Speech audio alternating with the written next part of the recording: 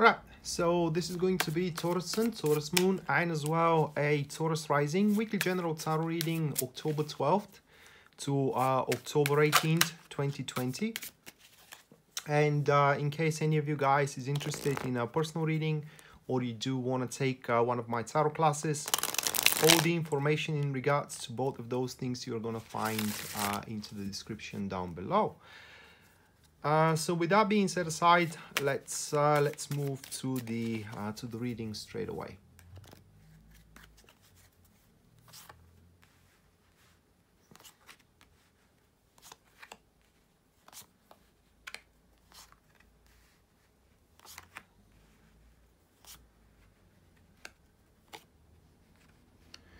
Right, so for your info, the, the uh, upper half of the reading is going to show your uh, love and relationship experience throughout the week and the bottom half is going to describe your professional aspects and your career as well. So let's uh, see every uh, Taurus how things are looking. Uh, they're looking quite promising as quite promising as you can see here with the first couple of cards. Wow all right. Oh my. So we do have the fool with the sun nine of cups two of wands and in terms of career, that is to be the lovers, eight of pentacles, uh, nine of wands, and then the last one we do have the world. Wow, right. Uh, that will be, uh, I don't know, maybe one of the best weeks uh, that uh, this year could um, uh, could offer you uh, here for um, with the fool here sitting into this first position uh, there is no other way to look at it than being a new beginning, if you will. And that new beginning doesn't have to be a brand new one. Well, it's going to be a brand new one, but it's like uh, it could be as well something that moves to the next stage. For example, being just a people that know each other to people that start dating, people that are dating to people that make commitments and so on and so forth. So the Fool, it's kind of like makes you embark on on kind of like new aspect, if I may say it that way, new perspective in terms of your uh, in terms of your love life. Now, needless to say, um, if you are single, then the Fool pretty much symbolizes new beginning as a uh, as a new relationship. But again, as Tarot does not take away decisions for you, you alone have to decide: do you want it or do you not want it? Okay, so um, here with the sun having it into the second position, that is very peculiar card there. And it kind of points that you should not make compromises with your happiness. Okay, so pretty much with these three, uh, three cards that we do have here, it does look like that's... Uh, uh, being happy in terms of love and relationship it's something that is given to you throughout the week itself and even uh, achieving kind of like a state of happiness is not going to be the hard part of it for we do have the nine of cups here into this position. And what the card pretty much states it is that uh, how can i say mm, uh, becoming happy it's not the hard part. Excuse me. But sustaining that happiness making that happiness being from a short-term one transforming it into the long-lasting one will be the uh, the real how can I say the tough part of the uh, of the enterprise itself. And as we do have the two of wands here at the end of uh, at the end of the reading, uh, it looks like that's uh, at the end of the week itself, uh, you are gonna sit, or rather not not sit, but more like a uh, being in a very satisfiable position. So you're gonna be pretty happy with the accomplishments you will be able to establish in terms of love life by the end of the week. And from there you will have the luxury to make a decision or, or, or to decide how you are to cash in on those um, accomplishments. You know do you want to make a commitment and do you just want to play around a little bit more within the stage where you are in right now?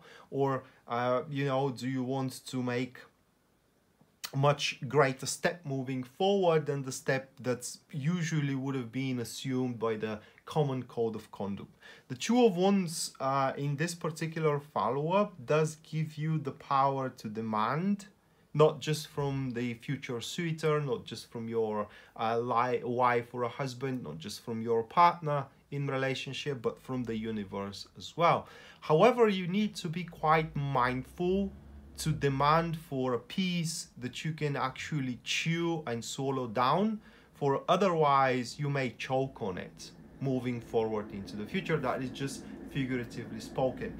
Now, one more thing I want to touch uh, in terms of love and relationship before we go to the uh, to the career reading here. It is that throughout the week, being so serious, being serious is not going to uh, present you with any benefits. You have to look at the things from the bright side, and as well, you need to be rather spontaneous. You need to be uh, undetermined, if I may say it that way. You gotta kind of like approach the um, the endeavor and the enterprise with open mind, not assuming anything, keeping your expectations low, uh, and kind of like being, how can I say, being without any presumptions uh, whatsoever. And remember, once again, I want to stress this one out. It's not about the cumulative happiness. It is about your happiness here with the sun sitting into, uh, sitting into this position. Now, one last thing this enterprise that may happen to you throughout the week may not be the last relationship let's say or enterprise in terms of love life that you are to experience. So even if the thing doesn't work out in the long run okay you shouldn't feel bad about it. For for one or another reason it is just a part of the journey that you are yet to embark. So whatever is happening to you throughout the week in terms of love life it is just a fraction of what is yet to emerge. So um, what was what was I about to say here so as being just a fraction, the whole thing, the overview is much bigger than you think it is. Now, uh, in terms of uh, career, let's first talk about those that are unemployed. Obviously, as we can see, there is a pretty good chance that you can start something to work it's not going to be as ideal as you would like it to be. That is signified by those two cards. And in fact having the lovers at the start uh, it seems that you are going to be quite reluctant and hesitant to take the deal uh, because it's pretty much it's not going to be your thing. But as the world stands at the end it will be beneficial for you to do so for it's going to give you the foundation for you to embark on new perspectives afterwards. So take it like you know a job that is just something temporary and you are to use it as first tool of sustenance and as well a trampoline for you to jump forward. Now for ongoing career and for ongoing businesses the cards are actually quite favorable. Uh, for it says that uh, how can i say? Well they are favorable in the sense of that uh, you will not go you are not going to mess the things around in any way.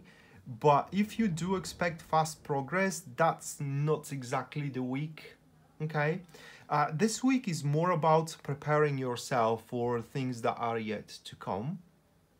And that is described here by these two. Because the Eight of Pentacles sitting in this position, it's pretty much a sign that whatever you are planning, it's not ready yet to be initiated. So you may hold on to the plan, you may hold on to the to the um, to the way of how you want to push it forward a little bit longer think it more carefully for with the eight of pentacles within this position it does says that there are details that are not accounted that are not accounted that are not accustomed to the project itself, to the job itself, to the client, so on and so forth. But with the nine of wands here into the uh, third position, the card points that you are uh, quite experienced within this field and you're gonna find a way, even if it does look like there isn't a way to get along with a certain client or to get beneficial in a certain project, or if you will, there is no way you are gonna get promotion. Should you be patient enough and should you not rush the things around, should you not prematurely initiate your plan and your strive, you are going to find a way.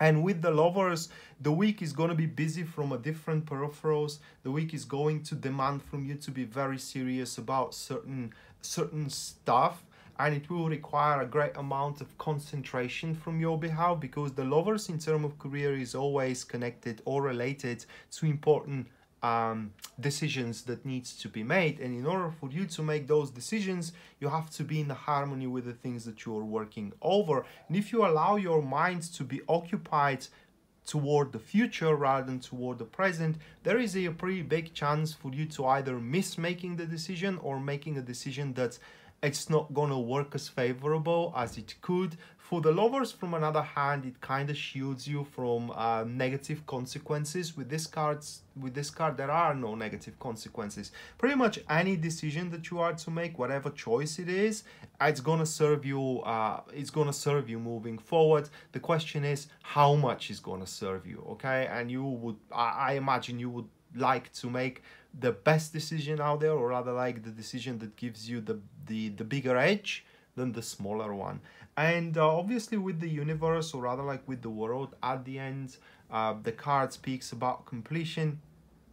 So finally by the end of the week you're gonna have your plan completed or or your means gathered and by doing so now whatever haven't been ready here with the eight of pentacles to be initiated is going to be ready at the start of the next week.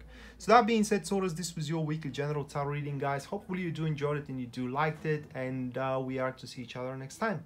Until then bye